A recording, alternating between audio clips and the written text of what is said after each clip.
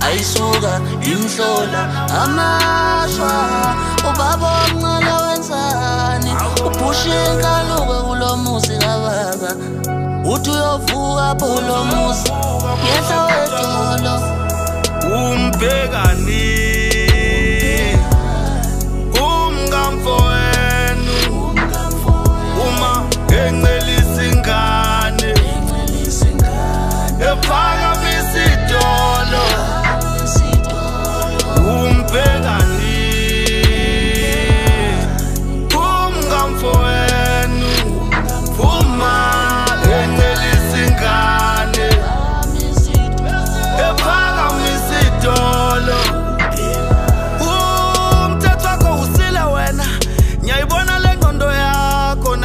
nayizolo ungixoshile phela.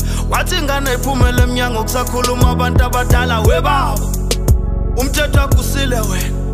Wena you can't wait kuthi kufa ubaba khona uzongena uma phela kade ngibona lesitele sakho ubhizi usenza ngithule ngikubheka. Manje sekufika isikhathi lo macashelane nudlala endlini noma usuyaphela. Dala nginitshela kuthi maniqhubeka wenu mina phela ubaba ngizomtshela uhleli nje awugani ufuna ukwenza lekani umngamfowenu uma encelisa ingane ephakamisa idolo umbhekani.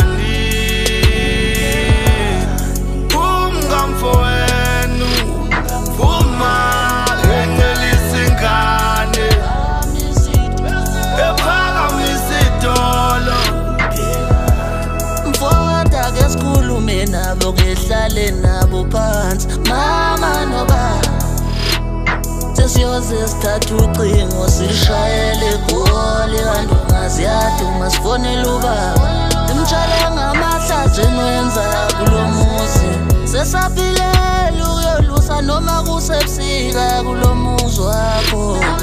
Sisho yini ukuthi wena baba nokubhansa uma ekhishini isikhona kubeke sisho yini ukuthi mana uhlala uhleka njalo uhleka intokazi ubaba lokhu akubhansa babe lokhu athinta thinta thinta thinta thinta thinta ngenhla kwedolo.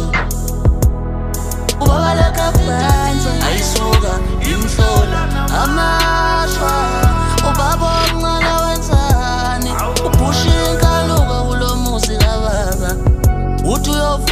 o lo